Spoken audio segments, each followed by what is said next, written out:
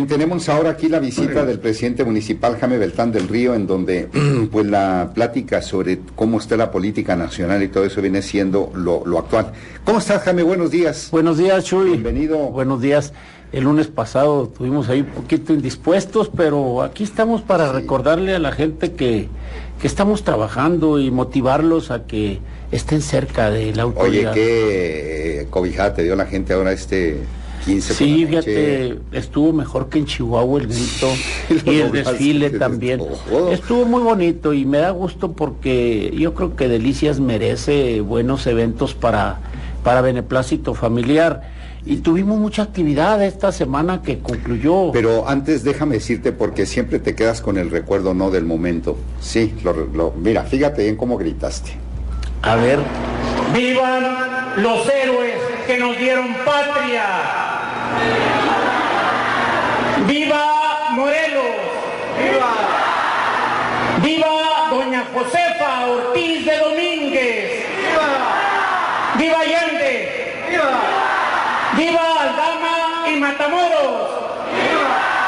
¡Viva Don Miguel Hidalgo y Costilla! ¡Viva la independencia nacional! ¡Viva! ¡Viva México! ¡Viva! ¡Viva México! ¡Viva México! ¿Fijaste cómo se prendió la gente? Fue siguiendo en el Sí. tono.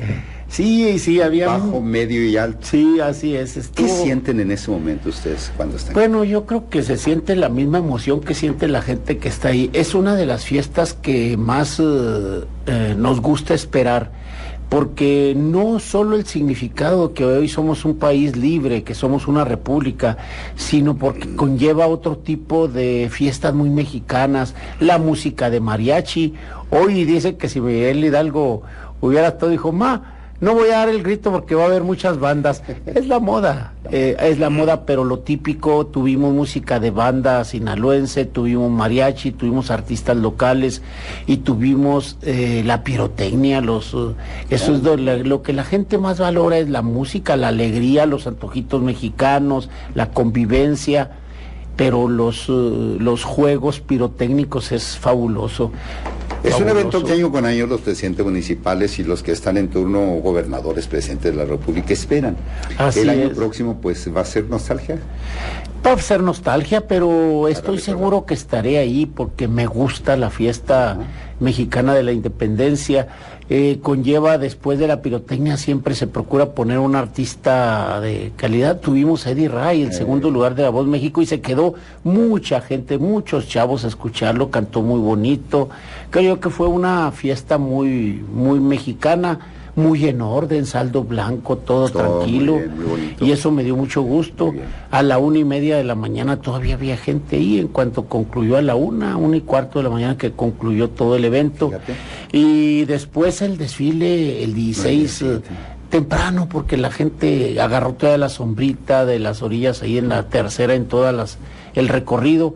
Fue un desfile muy lucido, porque tuvimos equipo militar, porque este desfile, el del 16 de septiembre, es el cívico militar Así es. y es para que se exhiba como lo hace en la Ciudad de México y en otras eh, ciudades importantes del país, se exhibe equipo, se exhibe armamento, se exhibe equipo de auxilio de, de nuestras Fuerzas Armadas y hoy se exhibieron Sí, eh, las, los equipos para los planes de, de emergencia de N3, se vieron ahí tanquetas eh, con su, su armamento, pero lo más hermoso fueron 81 jinetes de Santa Gertrudis del ejército mexicano, los caballos Santa Gertrudis, los caballos percherones y bien bonitos los caballos porque también fue la policía montada, la policía rural. Y estuvo muy bonito el desfile, duró una hora, la gente lo disfrutó, tuvimos contingentes de, edu- de educación media y media superior y universitaria en el desfile y los militares. Yo creo que fue eso muy bonito. Protección civil, seguridad pública municipal y la Asociación de Charros Luciano Carrillo. Bueno, ahora después de esta, eh, lo que pasó, lo que sucedió, entremos en detalles. Oye, la el, el, centro este que vas, ¿cuándo lo, lo entregan, el deportivo? Y la pavimentación a la Fernando a Baeza, los campos de la Fernando los campos de la Fernando que pasa también ahí por el, el campo de mm. fútbol, soccer, ahí. Es una arteria vial que llevó un gran esfuerzo. Sí. Un gran esfuerzo. Lo vamos a entregar mañana, eh. Les digo a los deportistas, mañana a las 7 de la noche vamos a estar entregando esa vialidad que tuvimos que modificar el puente, modificado ese puente que recoge agua, es un dren, le pusimos su concreto, su orientación y dejamos la vialidad derecha, no antes como tenía una curvita ahí para entrar. Hoy también los vecinos de Colonia Flores del Tepeyac, que, seguramente nos acompañarán, hay vecinos de ahí que dijeron que les avisara, ya les mandé avisar, que es mañana martes a las 7. Esa obra y la otra que es tremenda, una obra vial que la gente se va a maravillar, es la pavimentación del, del dren El Segundo, que está allá por la ciudad infantil, por un costado, un dren que beneficia a una, a una zona habitacional importantísima, un dren que estaba comiéndose ya entrando rumbo al fraccionamiento. Quedó también precioso, lo, tal vez la siguiente semana lo estemos entregando. Hay obras muy importantes para la permanencia vial de Delicias. Hoy ya dimos el banderazo, la semana antepasada, el viernes concretamente dimos el banderazo de la puesta de concreto en la prolongación de la Río San Pedro después de la glorieta Niños Héroes. Yo creo que esa, esa arteria nos va a dejar grandes beneficios a futuro. Entregamos uh, arteria, la, la, avenida 24 en Ladera, hasta en la antepasada, de la, de la 15 a la 18, con inversión de 2 millones de pesos. Entregamos un centro comunitario con sus dos fases, con sus zonas de talleres, de repostería, de belleza, de alimentos, eh, también para el Salón de Usos Múltiples, para que practiquen la Zumba, la Insanity, un centro comunitario moderno, bonito, en el que se invirtieron 10 millones de pesos. Y todavía nos falta entregar en laderas la calle 12, que llega ya hasta el canal de la de la de la 23 hasta la hasta el canal. Y vamos a entregar también el tramo de la misma avenida 24 de la 12 a la 15 y la avenida 23 de la 12 a la 15. Son inversiones que superan los 18 millones de pesos, todas estas que te comento, ahí en Ladera del Norte. Estamos trabajando con la Revolución, un centro comunitario que nos llegó de último momento. Dijeron, no, pues no quiere regresar el dinero. No, le dije, lo acabo, lo acabo este centro comunitario, una inversión de un millón y medio. Estamos ya en ello trabajando y la electrificación en la ampliación de la, de la colonia Revolución, que ahí estamos invirtiendo los últimos cuatro millones del Fondo de, Infraestructura Social Municipal. Entonces estamos muy contentos porque a Delicias eh, hemos hecho, les digo una cosa, aunque parezca insólito, hemos tenido en la administración 2013-2016 más recursos federales más fondos federales que en la administración anterior, que el gobierno federal era panista. Hoy el gobierno federal es prista, a mí me tocaron los tres años, pero hicimos grandes gestiones. En eso consiste el arte de la política, superamos la inversión. Tan solo en hábitat, un récord, 40 millones de pesos en los tres años, cuando el promedio eran 4 millones de pesos por municipio. Eso habla de que hemos trabajado bien, hemos trabajado con mucho ahínco por los delicienses. Y eso es lo que te digo que por eso estamos contentos, nos vamos tranquilos y con la satisfacción del deber cumplido. Claro, uno tiene que juzgarse, que nos juzgue la ciudadanía. Los mensajes es de gente que nos está oyendo y nos dice que no habían visto, ¿verdad? Es lo que yo te estoy, lo que la gente está opinando, que no habían visto una administración que cerrara con tanta obra como esta, Jaime. Tienes 11 días, me decían, y si es cierto, hoy estamos 19. Sí, prácticamente. ya octubre es solo entrega de papeles. Ya, ya, entrega recepción y ya prácticamente empiezan ya el nuevo gobierno ya a mover todo. Así Eso es. lo que te... 11 ya serán. Y vamos a tener todavía, claro que voy a estar entregando, todavía me falta entregar eh, las 124 eh, cuartos rosas adicionales, cuartito adicional para, para las familias que hacinaditas y para separar a las niñitas y que no tengan esos, esos a veces problemas que hay eh, por el hacinamiento de algunos delitos de tipo sexual. Entonces yo creo que eso los vamos a concluir. No, no creo, estoy seguro que lo concluimos. Estamos también eh, eh, a la siguiente administración, es obra que ya tenemos aquí el recurso, voy a entregar su cuenta de banco, su proveedor ya licitado, la obra ya lista para iniciarle el día 10 nada más para no andar con obras a medio concluir. Por eso las que estoy haciendo, me estoy refiriendo que ya se licitó, ya se entregó a Estal Construcciones, ellos ganaron la licitación de la reforestación de la, de la ciudad infantil. Esa reforestación de la ciudad infantil conlleva también ahí por donde está el terreno de Fernandito Lazalde, ahí lleva dos unidades deportivas de usos múltiples, canchas de fútbol rápido, gradería, básquet, boli, dos, es una inversión de 3 millones de pesos que ya está lista, ya está el recurso depositado y la voy a empezar, no la voy a empezar, perdón, la voy a entregar para que la inicien ya con todos los recursos de licitación el día 10. Esa obra otra obra que voy a entregar ya lista nada más para que le inicien el 10, ya la estoy licitando, están las bases de licitación, es el estadio de béisbol de la campesina con los 4 millones y medio de pesos ya depositados, ahí están en una cuenta especial. No, eso no es dentro del dinero que le voy a dejar para el gasto de los últimos tres meses. Esa es obra que no quiero iniciar yo para no dejar obras a medio concluir, pero ya va a estar listo para que el día 10 haya trabajo, el Estadio Béisbol de la Campesina.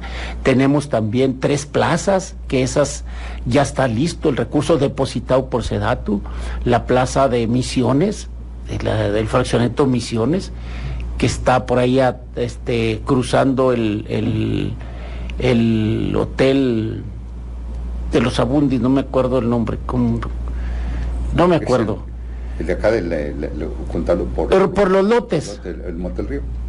Eh, no, no, no. No recuerdo. yo no sé tampoco. No. Pero este, ahí está, ahí está el fraccionamiento Misiones ah, y dejamos también ya listo el recurso para que el próximo presidente, el Liceo Compeán, él ya se comprometió a que él pone la parte que le corresponde, nada más en dos plazas. En Misiones yo pongo mi parte, que es un millón trescientos, pero a él, él le va con, le va a tocar eh, ya empatado, empatar el recurso que ya tenemos en las cuentas de las plazas de la Gomeña y de la industrial ya están listas, son un hecho, el dinero está depositado y yo creo que eso le va dando esa inclusión a Delicia, su zona rural y su zona también céntrica necesita espacios deportivos, necesitamos espacios de urbanización y yo creo que hay mucho trabajo y hay mucho que hacer. ¿Asegurado ya el pago de conclusión de administración?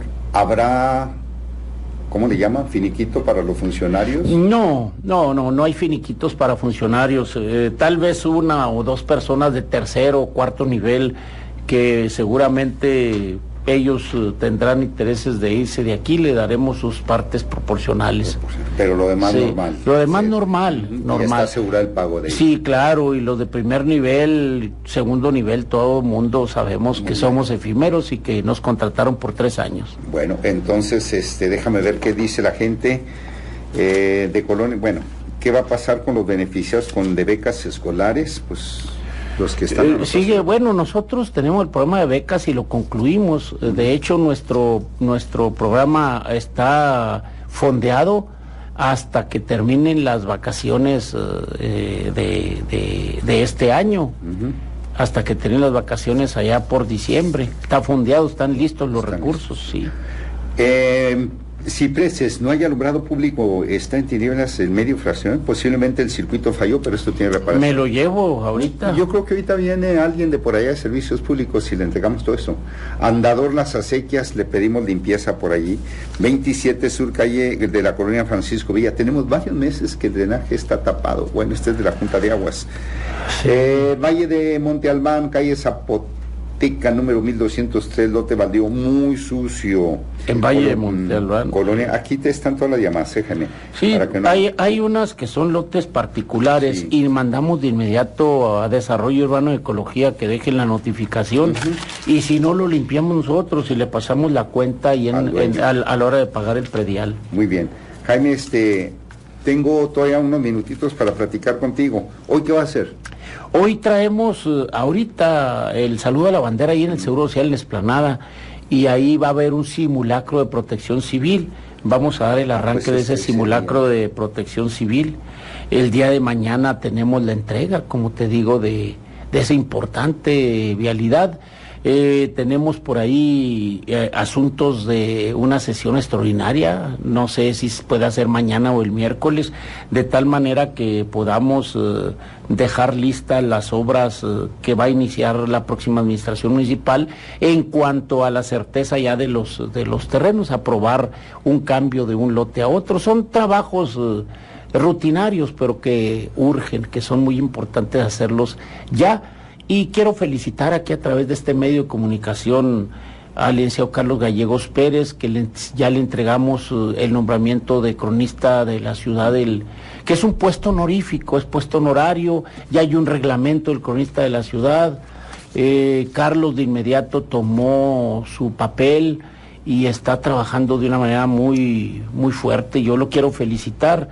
Quiero felicitar eh, a los a los eh, a la comunidad de, de estudios históricos, a la Asociación de Estudios Históricos de aquí de Delicias, que ellos eh, están muy, muy involucrados en el apoyo precisamente al cronista de la ciudad.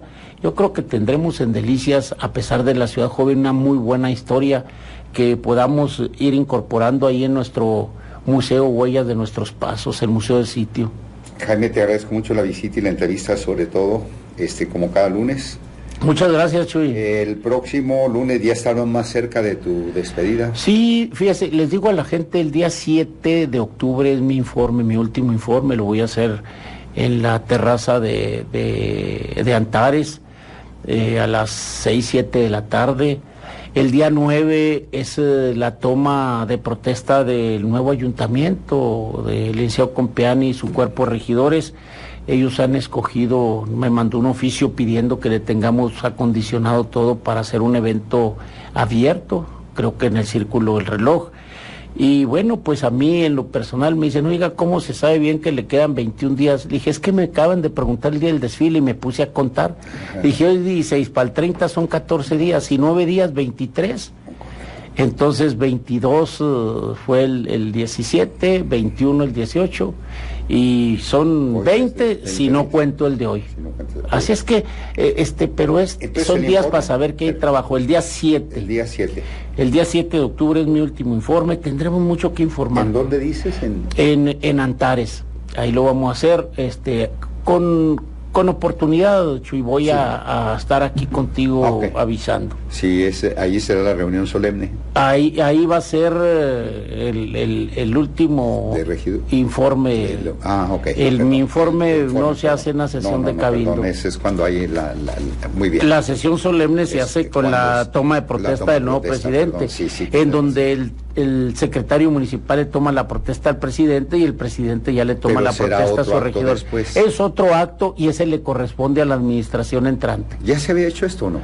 Sí se hizo, cuando yo entré se hizo ese acto protocolario, fue en el teatro, vino el gobernador constitucional. Pero fue el informe y luego la, toma de protesta. Mi, el informe del ingeniero Mata fue antes, lo hizo en el Polideportivo, Polideportivo. su último informe. Y ahora tú lo vas a hacer en... Yo lo voy a hacer en Atlantares. Muy bien, bueno, muy bien. Pues te agradecemos mucho a nombre de todos. Y di- que dice aquí la llama, queremos agradecerle a Jaime Beltrán del Río todas las obras que ha hecho por aquí en la colonia Revolución donde se está reportando. Sí, muchas Pues gracias. bueno, Jaime, que te vaya muy bien. Estamos Gracias, Chuy. pendientes de tu trabajo, siguiendo ahí tu camino. Y un abrazo a los delicienses. Gracias. Les deseo una semana excelente. Hoy el lunes hay que disfrutarlo con mucho trabajo, con mucha alegría. Y seguramente cuando llegue el viernes, que ya concluyó prácticamente la semana, tendremos muchas satisfacciones Bien. y le echamos ganas a la chamba. Como dicen los muchachos, no, ya sé. Así es. Gracias, Jaime. Hasta luego.